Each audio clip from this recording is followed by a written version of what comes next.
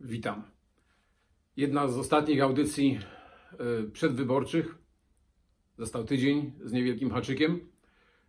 Stare indiańskie powiedzenie mówi, że jeżeli chcesz walczyć ze swoim wrogiem, to najlepszą metodą jest y, pójść w dół rzeki, usiąść i poczekać, aż jego zwłoki spłyną z jej nurtem.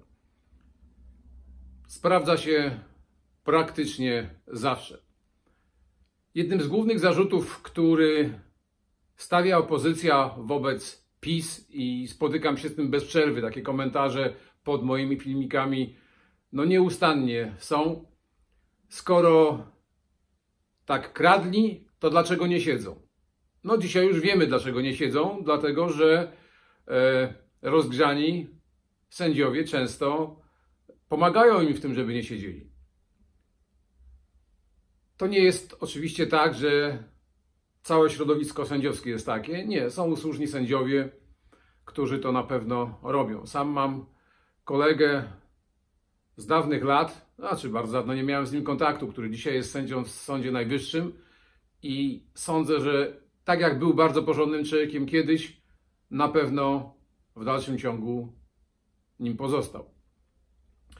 No niestety zazwyczaj widuje się najbardziej widoczne są te czarne owce, a ich nie brakuje.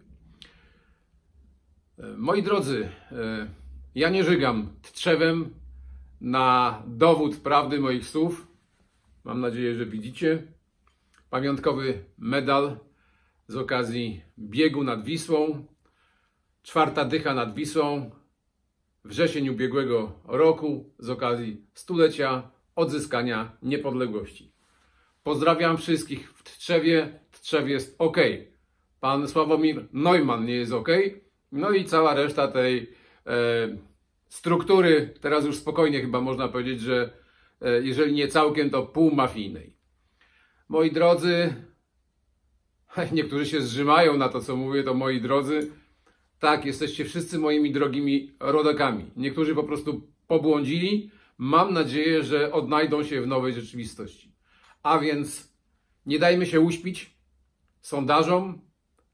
13 października za trochę więcej niż tydzień idziemy głosować i oddajemy głos na to, żeby Polska rosła w siłę. Na to, żeby zmiany, które zostały zapoczątkowane 4 lata temu, były kontynuowane w imię dobra nas, naszych dzieci i naszej ojczyzny.